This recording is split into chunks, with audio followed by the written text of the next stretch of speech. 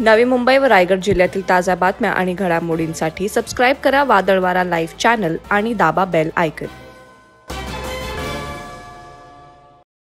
पनवेल ओळेमध्ये बैलगाडा शर्यतींच्या अड्ड्यावर झालेला जोरदार राडा आता बैलगाडा मालक राहुल पाटील याला चांगल्याच भोवल्याचं चित्र आहे. पनवेल शहर पोलिसांनी राहुल पाटीलला त्याच्या कल्याण आडिवली येथील राहत्या घरातून उचलून आणून पनवेलमध्ये जेरबंद केलंय. आता त्याच्यावर अतिशय गंभीर स्वरूपाचे गुन्हे दाखल झाल्याचं वृत्त समोर आलंय.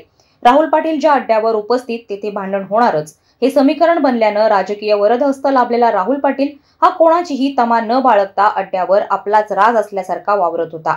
त्याची इतर बैलगाडा मालकांना आव्हान देण्याची व्हिडिओही व्हायरल झाली होती. त्यानुसार बारा मार्च रोजी ओवळेगावी असलेली शर्यत पाहण्यासाठी उपस्थित राहा असं आव्हानच त्यानं इतर गाडा मालकांना दिलं होतं. ही शर्यत अत्यंत प्रतिष्ठेची बनवल्यानंतर मात्र राहुल पाटीलच्या मथुर बैलाला पराभवाची धूळ चाखावी लागली.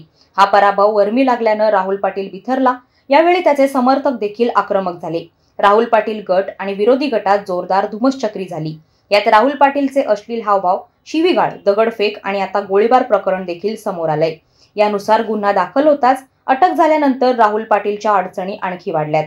राहुल पाटीलवर पनवेल शहर पोलिसांनी आयपीसी सेक्शन तीन ऑब्लिक पंचवीस आणि आयपीसी सेक्शन तीनशे छत्तीस यानुसार गुन्ह्याची नोंद केली आहे आयपीसी सेक्शन तीन ऑब्लिक पंचवीस या आर्म्स ऍक्ट अन्वये राहुल पाटीलवर किमान दोन ते पाच वर्ष तरी जेलमध्ये जाण्याची नामुष्की येऊ शकते असं पोलीस सूत्रांकडून समजतंय. तर आयपीसी सेक्शन तीनशे छत्तीस यानुसार सामाजिक स्वास्थ्य बिघडवणं सामान्य नागरिकांच्या जीवितास धोका निर्माण होईल असं वर्तन करणं या अन्वये कारवाईची टांगती तलवार राहुल पाटीलवर असल्याचं बोललं जातंय. राहुल पाटीलला पनवेल कोर्टात हजर केलं असता त्याला पोलीस कोठडी सुनावण्यात आली आहे यानुसार राहुल पाटीलचे वकील वसीम शेख यांनी राहुल पाटीलचा जोरदार बचाव केलाय. राहुल पाटील याची बदनामी करण्यासाठी विरोधकांनी हा डाव रचलेला असून राहुल पाटील यांनी कोणतंही शस्त्र वापरलं नाही. अथवा फायरिंग देखील केली नसून हे सर्व गुन्हे खोटे असल्याचं वकिलांमार्फत सांगण्यात आलंय. राहुल पाटील यांनी बैल शर्तीमध्ये भाग घेतला होता. त्या संदर्भात त्याच्यावर खोटा गुन्हा नोंदवण्यात आलेला आहे.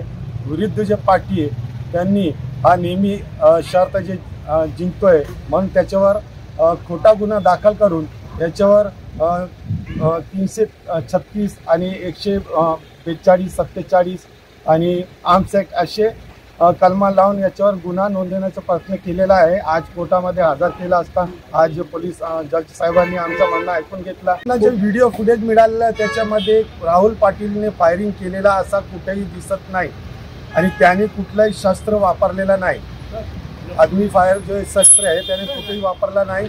हे फक्त समोरचे जे विरुद्ध पार्टी आहे त्याला बदनाम करण्यासाठी आणि खोट्या गुन्ह्यामध्ये फसवण्यासाठी हे सर्व कट रचलेलं आहे. दगडफेक दोन्ही पार्टीच्या दिशेने झालेलं आहे. सुरुवाती ते जिंकलेली पार्टी आहे त्यांनी दगडफेक सुरू केली आणि त्यांनी अग्रेसिव्हपणा दाखवला होता. म्हणून जे पत्ती उत्तर दे फक्त या समोरच्या पा- आमच्या पार्टीने दिलेला होता.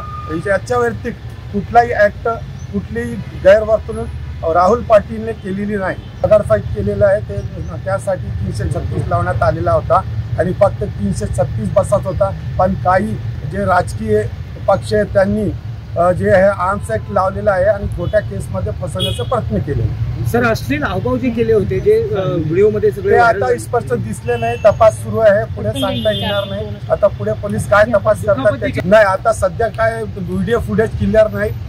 फक्त दगडफेक दिसते. बाकी कुठलाही गुन्हा झाला असा दिसत नाही. पोलिसांचा तपास पुढे येईल आणि पुढच्या तारखेला आम्ही हजर राहू आणि सगळ्या गोष्टी क्लिअर होतील. वादळवारा लाईव्हसाठी न्यूज ब्युरो पनवेल.